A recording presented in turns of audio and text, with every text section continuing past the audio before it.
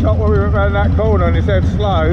Yeah, I was just trying to fucking do that. You go ahead.